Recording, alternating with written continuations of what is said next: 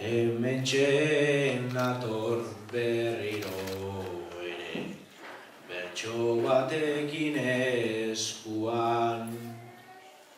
Aspalditikan egoera hau, baitara birkit buruan.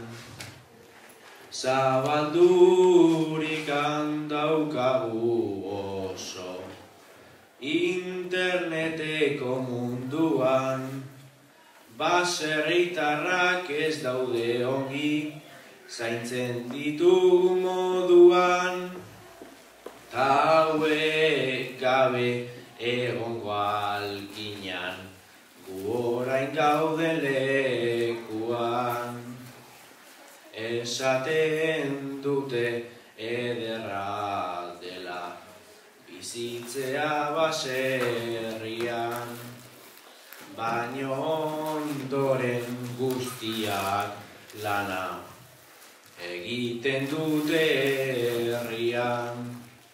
Urtea joan eta etorri, egoera kaskarrian, lana ugari eginagatik, erropa zarrak herrian, lagun ditzagun baserritarrak, kritikatu beharrian.